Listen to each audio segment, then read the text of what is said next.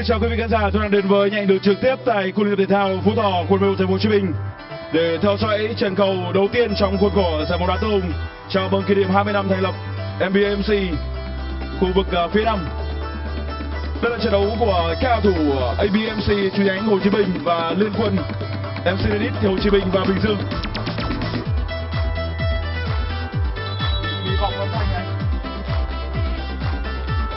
Như vậy là hiệp một của hai đội bóng cũng đã chính thức được bắt đầu. Phản công. Đó là cú dứt điểm từ xa. Bây giờ thì tỷ số đã được mở dành cho BBMC chi nhánh Hồ Chí Minh. Người ghi bàn đó là Võ Lương Huyền. 1-0 dành cho cầu thủ vào số 19 và Cadroy. Sau nhiều những trung tuyến và sọc vào hệ thống phòng ngự đối phương. Lần này vẫn là một số lượng đông những cầu thủ áo xanh có mặt ở trong hệ thống phòng ngự của liên quân. Ngoài phòng võ thì còn có cả sự có mặt của xuân khoa trong khi đó người đang đá hệ thống thoát nhất trong đội hình của liên quân MCN Credit Hồ Chí Minh và Bình Dương. Đó là thủ mang số 4 kiện và tới tiếp tục có một tình huống thành công nữa dành cho cao thủ BBNC chi nhánh Hồ Chí Minh số đã được nâng lên là 2-0 Phạt chuyền bóng khá hay và là của đội trưởng hữu nghĩa sang cánh trái. Nhưng ờ, cú dứt điểm của đồng đội đã bật ra đúng vị trí của anh.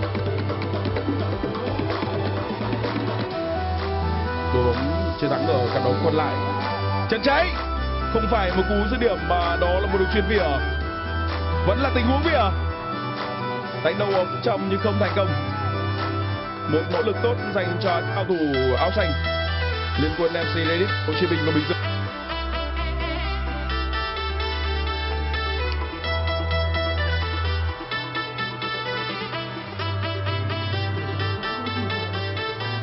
Ở Xuân Khoa đội chuyên.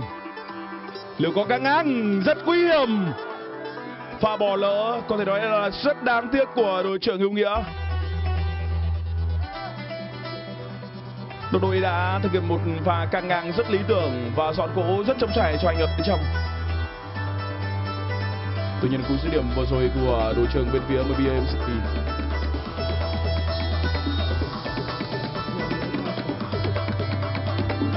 di chuyển trong vị trí khá tốt. Đó lại là một tình huống di chuyển ở cánh trái và làm được chuyện lần này đó là tình huống ghi bàn dành cho lương việt và đó là cú đúp của anh.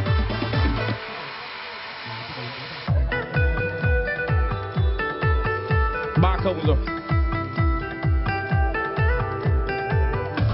Có lẽ là liên quân của series Hồ Chí Minh và Bình lời bóng dành cho cao thủ của BFC Hồ Chí Minh. Quả bóng hơi tiếc dành cho Văn Trường. Và sau đó là một tình huống lộn xộn về phía khung thành của Lâm Văn Sầu. Nhưng ờ, với tình huống vừa rồi có vẻ như Văn Trường đã bị đau. Anh đã va phải cầu thủ đối phương sừng sững một tảng đá.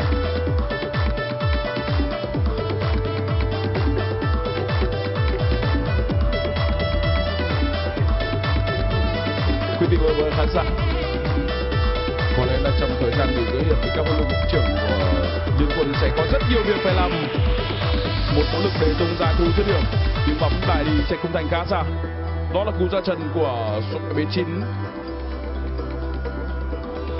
phạm thành phong. Trần hiếu. Người đã di chuyển ở bên trong là hoàng long. Tuấn anh. Đường chuyền bóng bổng. Như vậy là đã có bàn thắng dành cho cao thủ và BMC chi nhánh Hồ Chí Minh. Lần này người ghi bàn đó là cầu thủ mang áo số 4 người góp mặt trong hiệp đấu thứ hai, Nguyễn Đức Hoàng Lâm. Tình huống chuyền bóng bổng.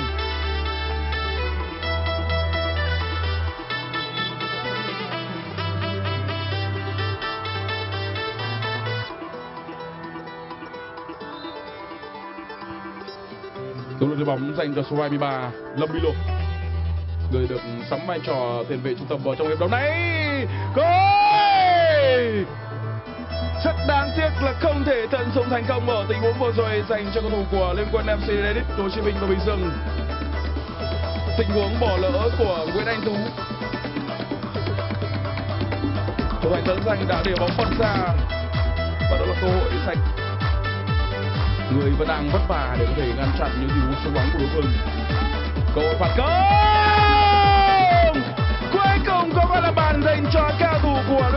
Liên quân anh Hồ Chí Bình và, và Bình Dương. Người ghi bàn đó là cầu thủ màu số 88 Trần Thanh Bình.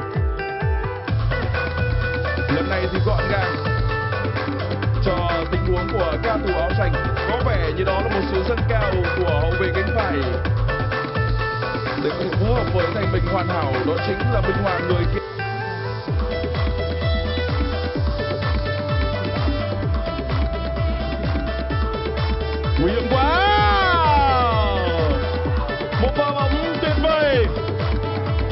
Vâng, tận sai số trong việc phòng ngự của các cầu thủ bên phía MBMC cánh Hồ Chí Minh. Người băng vào đó là Lê Thành Long để rút ngắn khoảng cách hai bốn.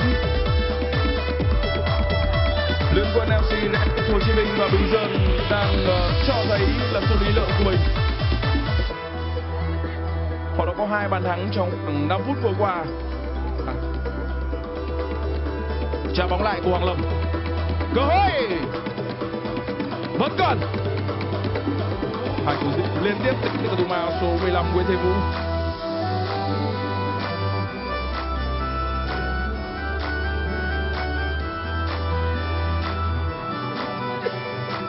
Bình Tường cũng có sẽ và có hai bàn thắng do công của Thanh Long và Thanh Bình. Vừa rồi là một cơ hội nữa dành cho cao thủ áo xanh băng xuống đối mặt với thủ một đối phương, nhưng cú dứt điểm chỉ mang về đá cũng đã khép lại. 91 là Hồ Chí Minh 1 đã giành chiến thắng. Và đó là đội bóng đầu tiên xác định có mặt trận cầu chung kết. Nhiều khả năng sẽ là trận đấu derby. Chi nhánh bởi vì chi nhánh Hồ Chí Minh 1 và bởi vì MC chi nhánh Hồ Chí Minh. Và như vậy là trận cầu của cao thủ BBMC chi nhánh Hồ Chí Minh cũng đã khép lại trước các cầu thủ liên quân MC đến Hồ Chí Minh và Bình Dương. 4-2 cho cao thủ MBMC chi nhánh Hồ Chí Minh đã giúp cho họ có mặt ở trận cầu chung kết và qua đó chúng ta sẽ gặp họ sau đây vài phút nữa. Và cao thủ liên quân, Mercy Reddit Hồ Chí Minh và Bình Dương sẽ gặp cao thủ MB chi nhánh Hồ Chí Minh 2 và đó là những gì đã diễn ra ở trận đấu đầu tiên trong buổi sáng ngày. Chúng tôi sẽ tạm nghỉ ít phút trước khi trở lại với trận đấu.